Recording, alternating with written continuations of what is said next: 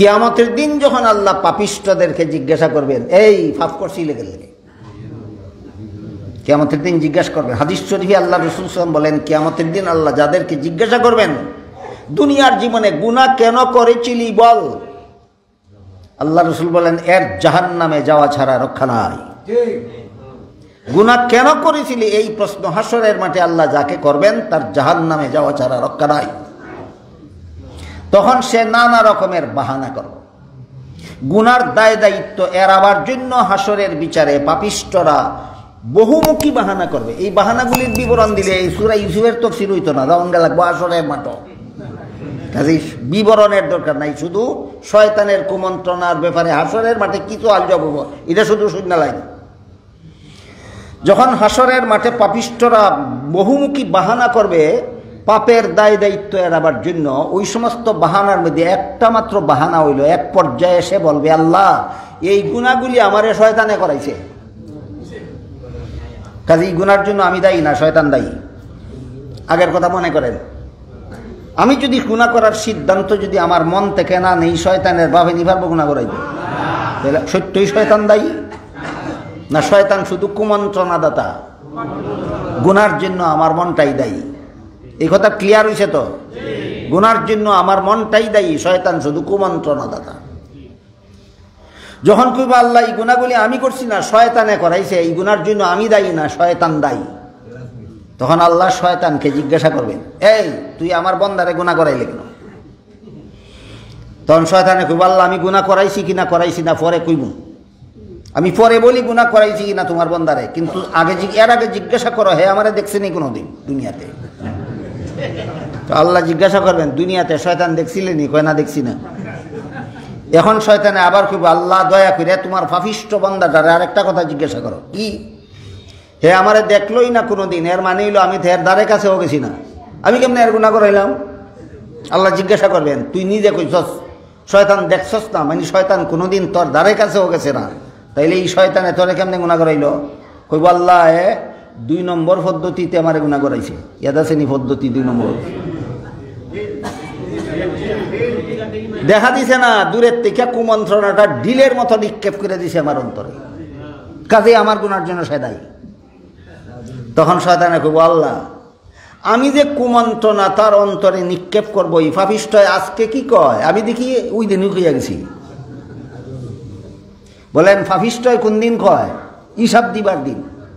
আর শয়তানে, এটা যে করব, এটা দিন না আইবার দিনেই কই আইছে? যে আমি একটা বন্দারও ছাড়তাম না, কুমন্ত্রণা দিয়া। হে, আজকে আপনারা কি বুঝাইতে চায়? আমি আগেই কইয়া গেছি কুমন্ত্রণা দেব। হে, আমার কুমন্ত্রণা নিল কেন? এই কথাটা জিজ্ঞাসা করো। কাজে শয়তানের কুমন্ত্রণার আগাগুড়া। শয়তানের কুমন্ত্রণা কখন থেকে শুরু হইল, কীভাবে শুরু হইল, কীভাবে দেয়, কীভাবে আত্মরক্ষা, কুমন্ত্রণা সম্পর্কে শেষ বিচারের দিন, কি সোয়াল জবাব? ক্লিয়ার হইল? এই বিষয়গুলি ক্লিয়ার হওয়া দরকার।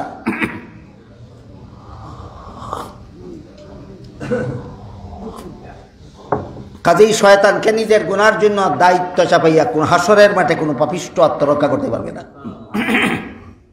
কারণ শয়তানের কুমন্ত্রণার শক্তি বেশি না, আমার মনের সিদ্ধান্তের শক্তি বেশি। এই কথাটা যেন আমরা কেউ কোনোদিন ভুলে না যাই। শয়তান শুধু কুমন্ত্রণা দিতে পারে, আমার আমার আমার সিদ্ধান্ত নেওয়ার জন্য রাজা আমার মন। আমার মনে যা সিদ্ধান্ত নিবে, তাই বাস্তবায়িত হবে। আল্লাহর একজন ওলি বুজুর্গের ঘটনা আছে। হাদিস শরীফে রসুলে করিম সাল্লাহু আলহি সাল্লাম বলেন, ফজরের নমাজের সময় মুসল্লির শরীর শয়তানে তিনটা বান দেয় এটা হইল অদৃশ্য রশ্মির বান ফাটের দড়ি। না, অদৃশ্য। অদৃশ্য। মুসল্লির শরীর শয়তানের, শয়তানে ফজরের সময় তিনটা বান দেয় ঘুম থেকে জাগিয়ে গেলে একটা বান ছিঁড়ে যায়, উজু করলে আর একটা বান ছিঁড়ে যায়, নমাজটা ফেরে লইলে সব বান মুক্ত। ইহাদিসটা বুঝে থাকলে বলুন তো, জীবন বর যারা ফজরের নামাজ পড়ে না, এরা শরীর শয়তানের কতলা বান আছে? ইবেটারে কাবু করণ কেমনি? হাজার হাজার লক্ষ লক্ষ বান শয়তানের যার শরীরের মধ্যে আছে, এরে ফিরিস্তায় ঠাই নাকি দাঁড়ো তারপরও এর মন রাজা। তারপরও তার মন রাজা। এ যদি সিদ্ধান্ত নেয়, আজকের থেকে আর শয়তানের কথা মানতাম না, তে সব বান একসাথে ফিরা দেব। সব বান একসাথে ছিঁড়ে যায় তো আল্লাহর একজন ওলি, উনারে শয়তানে বাঁধছে গুম বাংকে বাংতে এক বাংতে একটু দেরি হয়েছে যে কারণে নিয়ে গিয়া ফজরের নমাজের জমাত পেয়েছে না। জমাত না হওয়ার কারণে আল্লাহর দরবারে এমন কান্দা কানছে। আল্লাহ তার কান্দার উপর খুশি হইয়া জমাত পাইলে যত কান সব হইতো, এতে বেশি যাচ্ছে শয়তানে চিন্তা করে দেখো, দেখল এই বেটারে বান্ধে আমার লস হয়েছে দেখো? এই বেটারে বান্ধে শয়তানের লাভ হয়েছে লস লস। এর পরের দিন দেখিয়া ফজরের আজানের সময় ওই একটা অসিনা মানুষে এই উজুরের গড়ের বাইরে দাঁড়ায় খালি রায়। হয় উজুর তাড়াতাড়ি উঠোন, নাইলে জামাত পেতিন না ফয়লা দিন কইছে, তাড়াতাড়ি উঠোন, নাইলে জামাত পেতিন না দ্বিতীয় দিন কইছে তাড়াতাড়ি উঠোন, নাইলে জামাত পেতিন না তৃতীয় দিন কইছে তাড়াতাড়ি উঠোন, নাইলে জমাত পেতিন না উজুরে দেখে তিন দিন ধরে আমার এক বেটা ডাকে, তাড়াতাড়ি ঘুম থেকে না উঠলে জমাত পেতাম না। বেটার গদার আওয়াজে তো চিনতাম পারি না লোকটাকে ডাক তুই কেটা রে? কয়, আমি শয়তান। তোর কাম তো, তোর কাম তো জাগাইয়া দেওন না, তোর কাম তো গুম পাড়াইয়া দেওন। তুই জাগাইয়া দেস কোন কোন স্বার্থে? কই হুজুর, তিন দিন দিরা জাগাই দে, এর আগের দিন গুম পাড়াইয়া দিছিলাম, দিয়া আমার লস হয়েছে আপনার মতো মানুষের গুম পাড়াইন থেকে জাগানি কম লস বুঝলেন তো শয়তানের কুমন্ত্রণার ভাব এখন বলেন একজন আল্লাহওয়ালা বুজুর্গের যদি শুধু জমাত ফেল করার জন্য শয়তানের কুমন্ত্রণা থাকে, তে আমরা যারা জীবন ভর নমাজই ফুরি না ফজরের, আমরা অন্তর শয়তানের কি পরিমাণ বাসা? এই শয়তানে সারা জীবন বর যত চক্রান্ত আর যত কুমন্ত্রণা আমাদের অন্তরে দিয়ে থাকে, সবগুলি থেকে আমার মনের সিদ্ধান্ত বেশি শক্তিশালী।